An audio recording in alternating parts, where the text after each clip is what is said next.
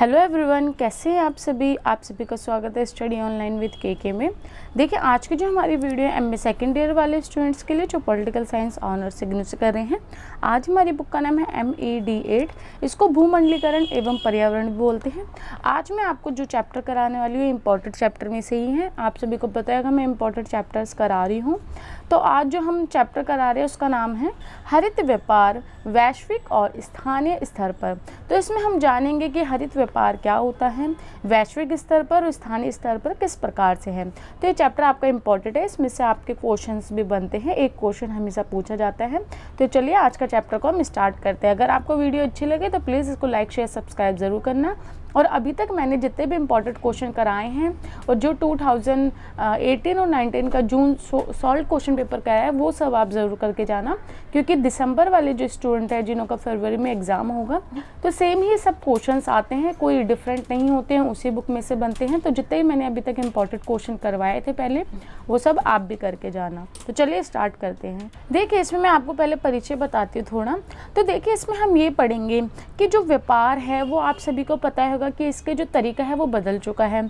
जो उत्पादन होता है, जो लोगों तक गुणवत्ता होती है, वो ज़्यादा होने लगे कि गुणवत्ता एक तो अच्छी होनी चाहिए उत्पादन ज़्यादा हो रहा है, क्योंकि लोगों की मांग ज़्यादा बढ़ रही है। और आप सभी को पता होगा कि नीतियाँ, जैसे कि व्यापार की जो नीति है, वो पहले से बदल चुकी है, क्योंकि जब भूमंडलीकरण है, उसके आने के बाद से बहुत कुछ चेंज हुआ। तो इसी प्रकार से क्या हुआ कि जो ये माना जाता था पहले कि जो व्यापार है और जो पर्यावरण है, वो एक दूसरे के विरोधी है मतलब एक साथ नहीं चल सकते। परंतु बाद में ये सोच बदली और फिर ये सोचा जाने लगा, नहीं, पर्यावरण और व्यापार एक साथ चल सकते हैं, अगर हम सब चीज़ों का ध्यान दें तो। तो इसमें हम यही पढ़ेंगे कि नई नई तकनीकें जो आई हैं, उसको देखेंगे और ये देखेंगे उससे पर्यावरण को क्या नुकसान हुआ है और जो हरित पर्यावरण है, उसके ऊपर क्या क्या चुनौतियाँ आई हैं तो ये सब चीज़ें हम इसमें जानेंगे। तो हमारा जो पहला पॉइंट है वह हरित व्यापार। देखिए, हरित व्यापार वह व्यापार होता है, जिसके करने से पर्यावरण को किसी भी प्रकार का कोई नुकसान नहीं होता। वो पर्यावरण के साथ फ्रेंडली होता है, मित्र जैसा होता है और पर्यावरण के साथ कोई भी पर्यावरण को कोई दुष्प्रभाव उससे नहीं पड़ता। और जो ये व्यापार होते हैं दीर्घकालीन होता है मतलब कि इसकी जो तकनीकी होती हैं, जो भी प्रयोग करते हैं चीज़ों का, ये दीर्घकालीन होता है। ये नहीं तत्काल नहीं होता, ये लंबे समय तक के लिए होता है और पर्यावरण को देख के ही ये सब बनाया जाता है। और जो हरित व्यापार होता है, उसका जो प्रोजेक्ट का उद्देश्य क्या होता है कि दीर्घकालीन उत्पादन हो, लंबे समय तक उत्पादन हो और इसकी जो गुणवत्ता है वो पर्यावरण को बढ़ाए, ना कि पर्यावरण को घटाए। पर इसकी जो गुणवत्ता इस प्रकार से रखी जाती है या फिर इसके अंदर जो भी चीज़ें इस प्रकार से रखी जाती है कि पर्यावरण के वो फ्रेंडली होती है और उसकी गुणवत्ता को बढ़ाती है और जिससे कि आपका आर्थिक विकास भी सही से हो और पर्यावरण भी सही से रहे। देखिए, हरित व्यापार में क्या होता है कि जो जो भी हरित व्यापार में जो भी कंपनियाँ जो यूज़ करी है, जो भी जिसकी कोई चीज़ बना रही है तो उससे कचरा भी निकलता है ना, उससे वेस्ट मटेरियल निकलता है। तो उस वेस्ट मटेरियल को फेंक नहीं देती है, वो उसका पूर्ण उपयोग करती है। आपको पता है ये प्रदूषण क्यों फैलता है? क्योंकि कोई भी कंपनियाँ हैं, अगर कोई चीज़ बनाती हैं तो उसका वेस्ट मटेरियल हो गया या फिर जहरीली गैस गैस होगी, वो सब निकलती है। तो उससे क्या होता है कि पर्यावरण दूषित होता है कि उसको ऐसे फेंक दिया जाता है कचरे को, जो जहरीली गैस होती है, उसको वायु में छोड़ दिया जाता है। तो इससे पर्यावरण को नुकसान होता है। परंतु जो हरित व्यापार होते हैं, इसमें क्या होते हैं?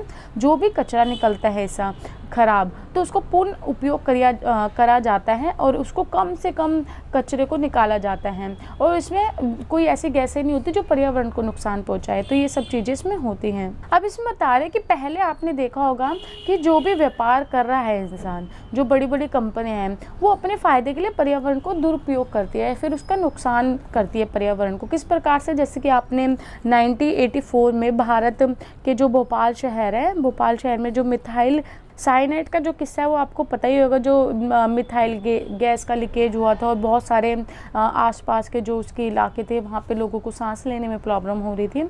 ऐसे पेरू में सन 2000 में आपने किस्सा सुना होगा और इसी प्रकार से इटली में मिथेल गैस का या आग लगना और ये सब देखा होगा। तो इसमें वही सब चीज़ें बता रहे हैं कि कि ये जो चीज़ है ये लोग अपने फ़ायदे के लिए पर्यावरण को नुकसान पहुँचाते हैं अपना काम कर रहे हैं अपना उद्योग चला रहे हैं उससे पर्यावरण को नुकसान हो रहा है उनको कोई लेना नहीं। है तो इसी के तहत क्या हुआ कि 1980 में विश्व जो मजदूर संगठन है, उसने बहुत कड़े इसमें कदम उठाए कि ये सब चीज़ें नहीं होनी चाहिए, पर्यावरण को नुकसान नहीं पहुँचना चाहिए तो उसके लिए बहुत कदम भी उठाए गए। तो इसी प्रकार से अंतर्राष्ट्रीय स्तर पर जो वाणिज्य कक्ष होता है, फिर उद्योग होते जो पर्यावरण की रक्षा के लिए होते हैं तो उसमें क्या है कि जो हरित व्यापार है, उस पर बहुत ज़्यादा दबाव भी बनाया कि हरित व्यापार से ही अपना सारे व्यापार लोगों को चलाने चाहिए, जिससे कि इसके लाभ भी हों लोगों को और ये दीर्घकालीन भी होता है। तो जो हरित व्यापार है, इसके बहुत सारे कार्य करे भी जा रहे हैं। जैसे कि आप देख सकते हैं, खाद उत्पादन, उत्पन्न करने वाले शौचालय से लेकर हरित स्थापित तक। तो अब हम नेक्स्ट पॉइंट पढ़ेंगे। इसमें बस यही बताया गया था कि हरित व्यापार किस तरीके से काम करता है, किस तरीके से लाभकारी है। नेक्स्ट हमारा पॉइंट है व्यापार के लिए पर्यावरणीय चुनौती। हम इसमें देखेंगे कि व्यापार जो करते हैं, उसके लिए पर्यावरण की चुनौतियाँ क्या क्या आती हैं। देखिए, आज के टाइम पे क्या है? कि व्यापार, अगर आपको लंबा व्यापार, दीर्घकालीन व्यापार करना है तो पर्यावरण को ध्यान में रखना बहुत ज़रूरी होगा उसको ध्यान में रखते ही आप अपना व्यापार कर सकते हैं। अगर हम ऐसा नहीं करेंगे तो क्या होगा कि गरीबी बढ़ेगी और मानव की जो चिंता है वो बढ़ेगी और दुखी भी होगा मानव। क्योंकि देखिए, अगर पर्यावरण में कोई चीज़ प्रॉब्लम आती है तो क्या होता है, पर्यावरण से इंसान जो मनुष्य है, उसी को ही नुकसान उठाना पड़ते हैं। अगर पर्यावरण में प्रदूषण फैलेगा तो इंसान ही बीमार होगा, जो गरीबी है और ज़्यादा बढ़ेगी, है ना? और सब चीज़ें महँगी होने लग जाती हैं, ज़्यादा अस्पतालों में भीड़ होने लग जाती है तो बहुत सारी ऐसी चीज़ें देख, देखी जाती हैं जब पर्यावरण को नुकसान होता है तो मनुष्य जो है, उसको ज़्यादा नुकसान उठाना पड़ता है। तो इसलिए अगर अपना व्यापार करें तो पर्यावरण को ध्यान में रख के करें। और इसमें बताया जा रहा है, पहले के टाइम पे जो पर्यावरण और व्यापार है, दोनों को एक दूसरे के विपरीत विषय माना जाता था, परंतु आज के टाइम पे ऐसा नहीं है। व्यापार पर्यावरण को लेके ही चलता है साथ में, जिससे कि आर्थिक विकास भी होता है और जो वैश्वीकरण है, वो भी अब दीर्घकालीन विकास पे ध्यान देता है कि दीर्घकालीन विकास हो, जिसके बदले में उद्योग अच्छे बढ़े और नई नई खोज हो और हम पर्यावरण को ध्यान में रख के सारे व्यापार को कर सकें। और देखिए, फिर इसमें आगे ये बताया जा रहे हैं कि जो पर्यावरण की चिंता है, वो खाली अमीर देशों को करनी चाहिए। क्यों? क्योंकि उन्होंने सबसे ज़्यादा पर्यावरण को दूषित किया है, पर्यावरण को सबसे ज़्यादा उन्होंने शोषण किया है। तो इसलिए उनकी चिंता भी उनको करनी चाहिए ज़्यादा। मगर फिर ये बोलते हैं कि पर्यावरण और जो विकास है, वो असंगत नहीं है। मतलब कि ये दोनों अलग अलग नहीं है, एक ही है, एक ही जैसे है, एक ही संगत के हैं। बोले, अगर आपको विकास की नीतियाँ बनाएँ, अगर अच्छी आप नीतियाँ बनाएँगे तो विकसित देशों की जो गलतियाँ हैं, हम उससे उभर सकेंगे। जो भी विकसित देशों ने जो पर्यावरण को नुकसान पहुँचाया है, हम उससे और उभर सकेंगे अच्छा पर्यावरण कर सकेंगे। कब? जब हम पर्यावरण की नीतियाँ अच्छी बनाएँगे, अपने व्यापार की नीतियाँ अच्छी बनाएँगे, अपने विकास की नीतियाँ अच्छी बनाएँगे, जो पर्यावरण के मित्रपूर्ण हो या फिर फ्रेंडली हो। और देखिए, जो विकासशील देश है, उनको जो पर्यावरण की समस्या है, इससे बहुत ज़्यादा उनको सामना करना पड़ रहा है। तो वो चाहते हैं, वो इस प्रकार बोलते हैं, अगर पर्यावरण की समस्या का समाधान करना है तो अंतर्राष्ट्रीय जो कॉरपोरेशन होता है, वो ही इस समस्या का समाधान कर सकता है। और फिर आगे बोला जाता है, अगर कोई भी देश हो, चाहे वो किसी भी राज्य में रहता हो, किसी भी देश में रहता हो, उसको पर्यावरण की समस्या का सामना करना पड़ता है। तो इसको अगर हमको सॉल्व करना है पर्यावरण की समस्या को तो मिलकर ही करना पड़ेगा, क्योंकि देखिए, एक इंसान तो इसकी प्रॉब्लम की समस्या का सामना नहीं कर सकता, सबको मिलके ही करना पड़ेगा, तभी ये समस्या ख़त्म होगी। जो पर्यावरण से रिलेटेड जो समस्या है, जो प्रदूषण इतना फैल रहा है, या फिर आप देख सकते हैं वायु प्रदूषण, जल प्रदूषण और इतना जो कचरा है, इतना जो भंडार है गार्बेज का, ये सब ये सब जो प्रॉब्लम है तो इसको हमको ध्यान में रखना पड़ेगा। नेक्स्ट हमारा पॉइंट है, पर्यावरण के दृष्टि से ध्वनि प्रौद्योगिकों की विशेषता है। इसको हम ई एस टी भी बोलते हैं। और ये जो क्वेश्चन है, ये आपका अभी जून में भी आया था कि ध्वनि प्रदूषण या ध्वनि प्रौद्योगिकी के बारे में बताइए। तो वही क्वेश्चन है तो इसको भी ध्यान से देखना। और देखिए स्टूडेंट आप ऐसा मत सोचना कि जून में जो आ जाता है, वो फिर दिसंबर में नहीं आता है। ऐसा नहीं है। उसमें से कुछ क्वेश्चन दिसंबर में भी आते हैं, जो मैंने इंपॉर्टेंट क्वेश्चन कराए हैं, उसमें से कुछ आ गए थे जून में।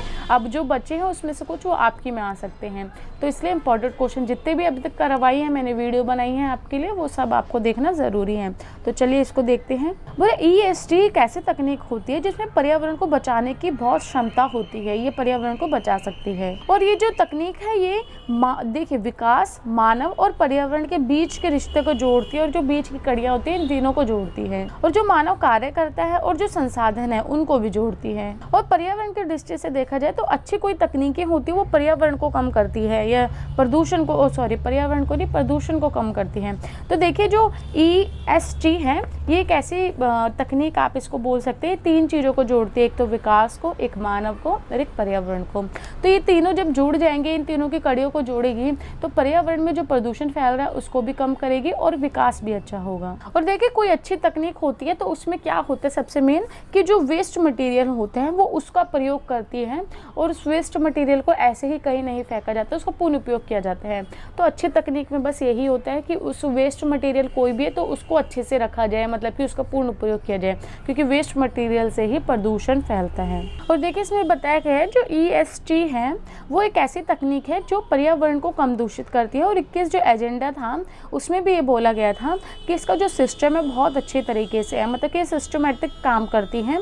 इसकी जो विधि हैं, सेवाएँ हैं, उपकरण वो बहुत अच्छे हैं। और इसी के माध्यम से क्या होता है कि विकास सही ढंग से होता है पर्यावरण को भी किसी प्रकार से कोई नुकसान नहीं उठाना पड़ता। और देखिए, अंतर्राष्ट्रीय बाज़ार में हम देखेंगे तो पर्यावरण के जो मानक है मतलब पर्यावरण के जो भी हम मानक एक वो करते हैं ना स्टैंडर्ड की हाँ ये पर्यावरण के मानक हैं तो वो सही से हैं और बहुत कड़े भी हैं। मतलब कि पर्यावरण को अगर कोई दूषित करता है तो उसके लिए बहुत ज़्यादा नियम कानून बना रखे हैं। और देखिए, जो भी तकनीकें होती हैं, वो अपने माहौल के अकॉर्डिंग या हालात के अकॉर्डिंग बदलती रहती है। समझ लीजिए, अभी कोई हालात ऐसे हैं तो उसके नियम कानून जो होंगे, जो भी उसके सिस्टमेटिक काम करने का तरीका होगा, वो बदलेगा। और जो भी उपयुक्त जो प्रौद्योगिकी होती है, वो नीचे से ऊपर की तरफ़ काम करती है। और इसमें बताया जा रहा है कि कोई भी प्रौद्योगिकी या कोई भी उद्योग अगर कुछ काम करते हैं तो आम इंसान को ध्यान में रख के ही काम करें, क्योंकि हर इंसान रोज़ अपने ज़रूरतों के लिए मेहनत करता है और फिर मेहनत करके अपनी कमाई मतलब कि अपना पेट भरता है। तो उसको ध्यान में रख के ही इन उद्योगों को काम करना चाहिए। ये सोचना चाहिए कि जो हम काम कर रहे हैं, उसका क्या परिणाम होगा? कहीं इससे किसी को नुकसान तो नहीं होगा? तो ये सब ध्यान में रखना चाहिए। तो देखिए, अब हमारा नेक्स्ट पॉइंट है ईएसटी पर प्रभाव डालने वाले शर्तें कि ईएसटी जो है, इस पर कौन कौन सी शर्तें जो प्रभाव डालती हैं। देखिए, जब कोई व्यापार बनता है, व्यापार कोई खड़ा होता है तो उस पर बहुत सारी चीज़ें या बहुत सारी बातें असर डालती हैं। तो इसी प्रकार से कोई भी अगर राष्ट्र में कोई व्यापार या तकनीकें बन रही हैं तो उस पर चिंता करने वाली ये बात होती है कि वह पर्यावरण की स्थिति पे क्या प्रभाव डालेगी और इससे ये भी पता चलता है कि पर्यावरण की स्थिति क्या चल रही है वहाँ। तो इसके जो प्रभाव है, वो हम पढ़ते हैं।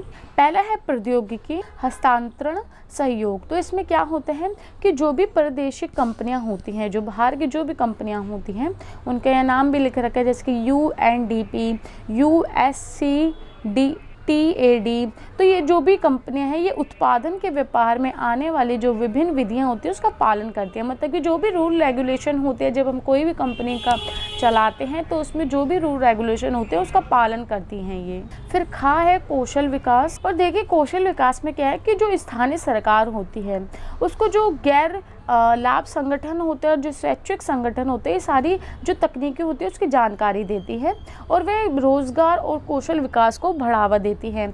जो भी स्थानीय सरकार होगी तो जो भी अगर स्थानीय सरकार है, उसको जो भी आपकी गैर सरकारी संगठन होते हैं, फिर जो अलग से संगठन है, वो उसको पूरी जानकारी देते हैं कि हम किस प्रकार से व्यापार कर रहे हैं, कैसा कर रहे हैं। जिससे क्या होता है कि स्थानीय सरकार जो होती है, वो रोज़गार और कौशल को फिर बढ़ावा देती है। नेक्स्ट है, वैज्ञानिक के क्षेत्र में निवेश। देखिए, जो विकसित देश होते हैं, वो अनुसंधान जो होते हैं, उसकी तलाश करते रहते हैं, जिससे कि जो विकासशील देश होते हैं, उनकी जो मुसीबतें हैं, कम हो सके। मतलब कि जो विकसित देश है वो ऐसे ऐसे ऐसी वैज्ञानिक चीज़ों में निवेश करते हैं या ऐसी चीज़ों की टेक्नोलॉजी की वो करते हैं आविष्कार जिससे कि जो फिर विकासशील देश है उनको भी वो हेल्प की जा की आ, की जा सके और उनकी जो मुसीबत है वो भी थोड़ी कम हो। नेक्स्ट है नियमितता सिस्टम और स्वैच्छिक भागीदारी। इसमें देखिए यही होता है कि जो संगठन है एक तो स्वैच्छिक रूप से होता है ठीक है और एक सिस्टम एक उसकी एक नियम होता है और सिस्टम उसी नियम के सिस्टम से पूरा अपना कार्य करता है और उसकी क्षमता उसी से हम पता लगा सकते हैं और इसमें सबकी सहभागिता होती है और इसी से लोगों को फ़ायदा भी मिलता है कि कोई भी अगर कार्य हो रहा है तो उसका एक सिस्टम होना चाहिए, वो एक नियम का पालन करना चाहिए और इसमें सभी लोगों की भागीदारी होनी चाहिए।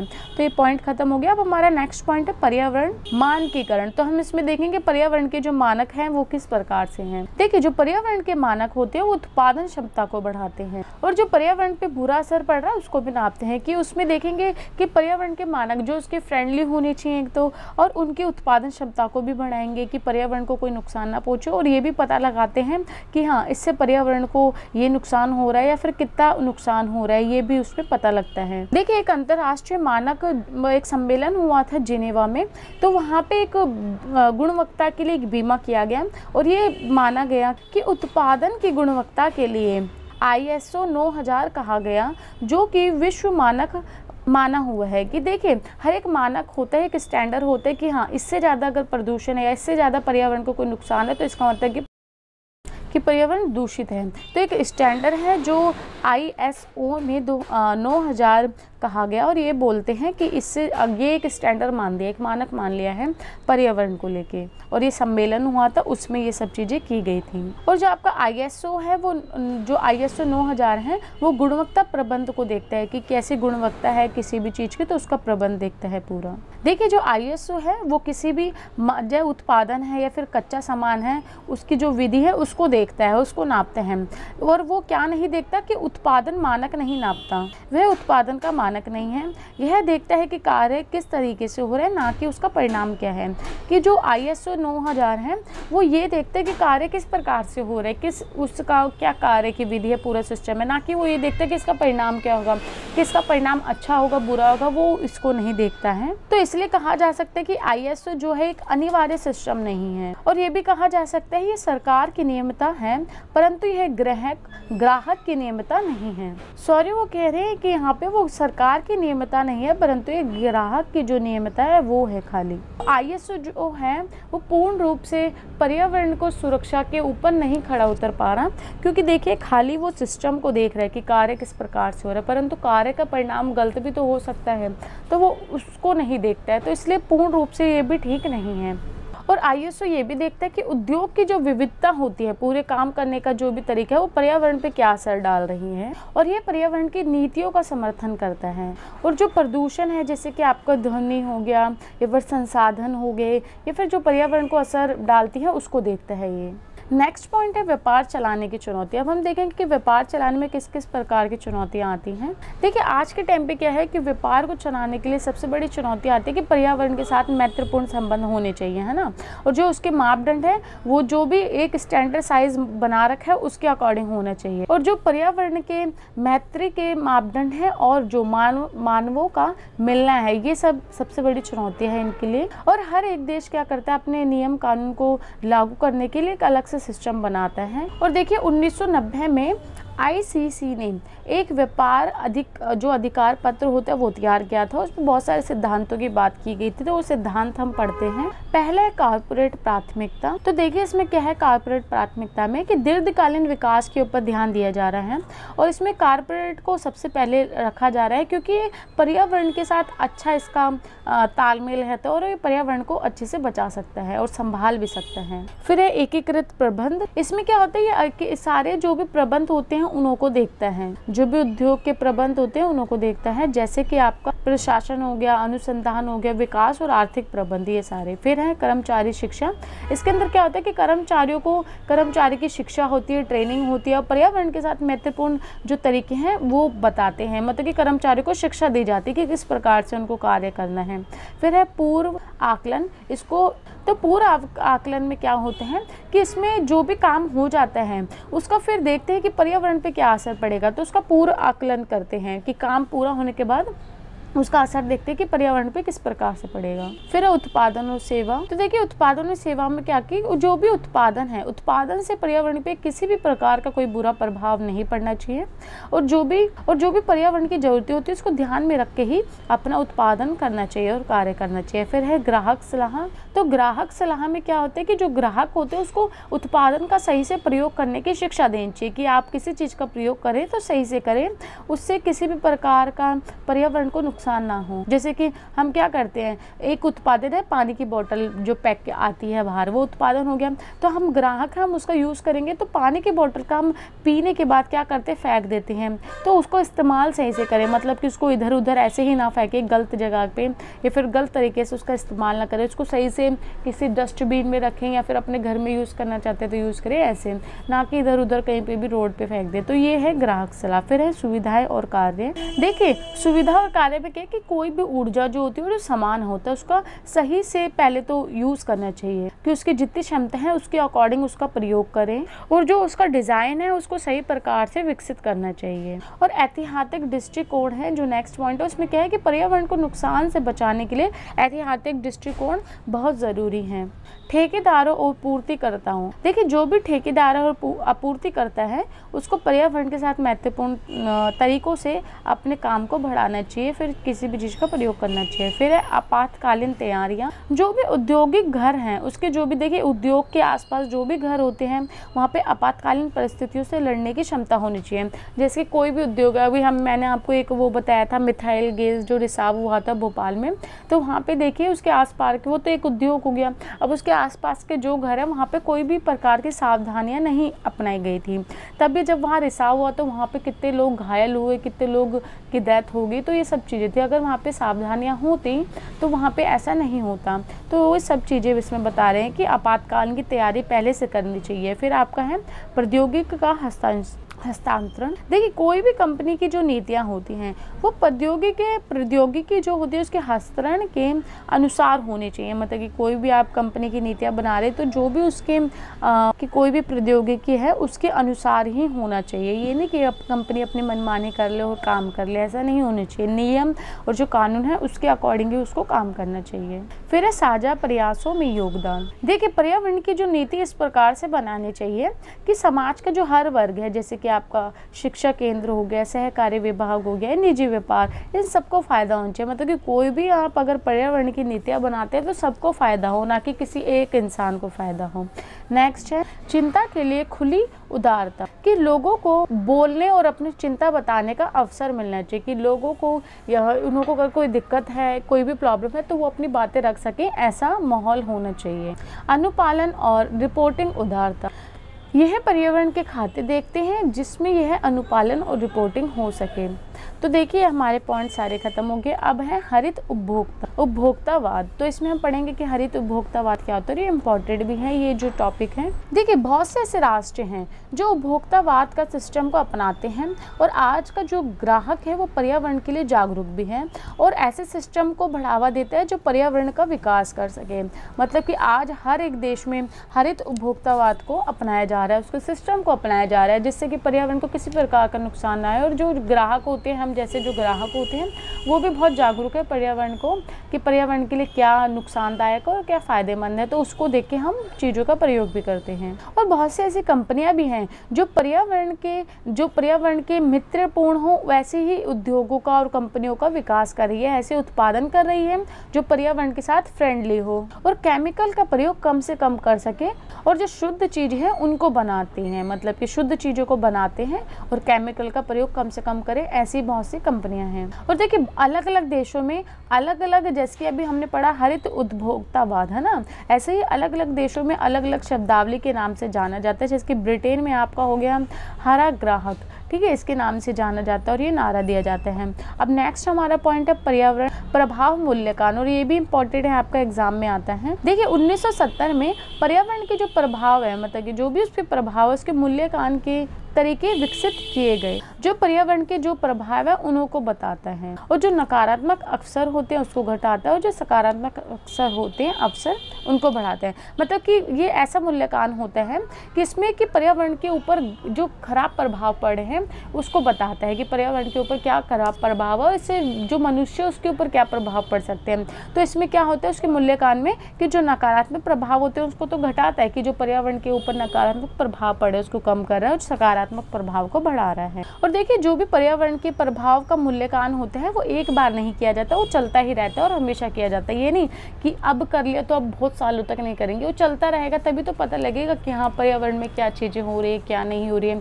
तभी हमें अपडेट आते रहते हैं कि आज प्रदूषण इतना है, अब इतना है और ये वाली दिक्कतें आ रही है इस देश में तो ये सब चीज़ें इन्हों से ही पता चलती हैं। और जो पर्यावरण का प्रभाव है और उसका जो मूल्यांकन है, वो विभिन्न कदमों द्वारा किया जाता है। मतलब कि बहुत सारे ऐसे चीज़ें हैं जो प्रमुख कदम है, वो इस प्रकार से हैं। पहला है कि जो पर्यावरण के खतरे हैं, उसको पहचानना और जो पर्यावरण के बुरे असर हैं, उसकी चेतावनी देना। आर्थिक नीति में सुधार लाना, पूंजी की क्षमता को पहचानना और पर्यावरण के लिए जागरूकता और उनकी ज़िम्मेदारी, कॉरपोरेट भागीदारी तरीके से निभाना। तो इसमें ये देखा जाता है, जो भी इसके प्रभाव मूल्यकान होते हैं, इसमें देखा जाता है कि क्या क्या प्रॉब्लम है जो पर्यावरण में आ रही है, कि उसके क्या बुरे असर पड़ेंगे, क्या आर्थिक सुधार हमें करना चाहिए, कि उसके ऊपर असर ना पड़े।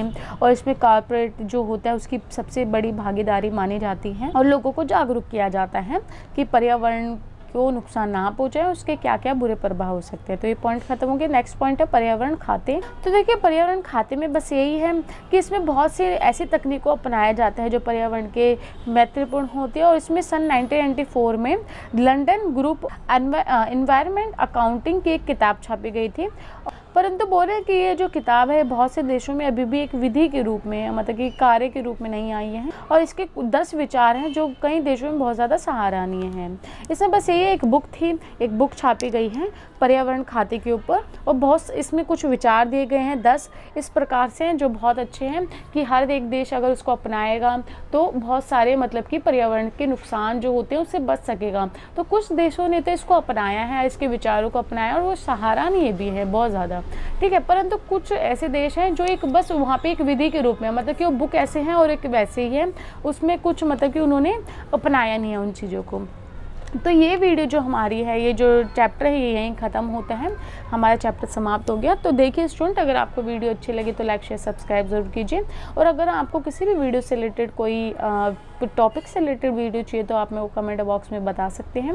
और बाकी आप मेरे को बुक के लिए बताइए कि मैं कौन सी बुक की अब वीडियो बनाऊँ, क्योंकि मैं अपने अकॉर्डिंग अब जो भी मेरे को ठीक लग रहा है, वो पहले बता रही हूँ। परंतु जिस स्टूडेंट्स जो स्टूडेंट ज़्यादा होंगे, जिस कोर्स के या जिस बुक के तो वो मैं पहले बना दूँगी। तो आपके कमेंट के ऊपर अकॉर्डिंग करते हैं कि किस पे ज़्यादा कमेंट आ रहा है तो वो पहले आपको वीडियो प्रोवाइड करा दूँगी। तो चलिए हम मिलते हैं नेक्स्ट वीडियो में। धन्यवाद।